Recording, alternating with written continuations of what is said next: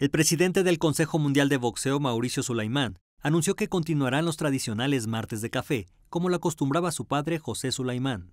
Acompañado de la boxeadora mexicana Mariana Barbie Juárez, comentó que debido a las irregularidades que se han presentado con la manipulación de los guantes, a partir de este martes se pondrá en marcha la campaña nacional No los manipules, a fin de concientizar sobre lo irresponsable que es esta acción.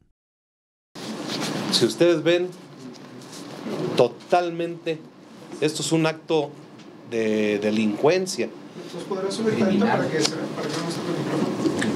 Bien, esta es la diferencia del guante derecho contra el guante derecho. Entonces, si ven la diferencia que hay, eh, es algo escandaloso. Sulaimán dijo que se buscarán sanciones legales porque las lesiones que causan con los guantes manipulados pueden llegar a causar la muerte. Cuando son peleas de título hay mucha mayor supervisión y los guantes tienen que ser nuevos.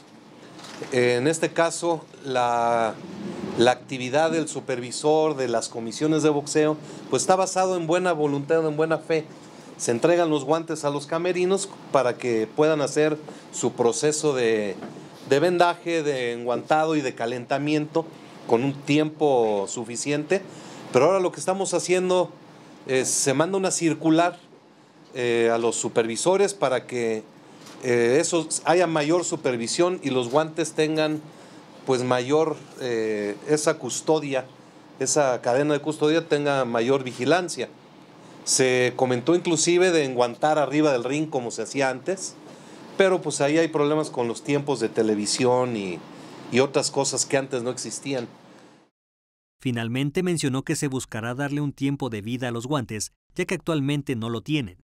Con información de Araceli Rivera e imágenes de Miguel Ángel Areizaga, Notimex.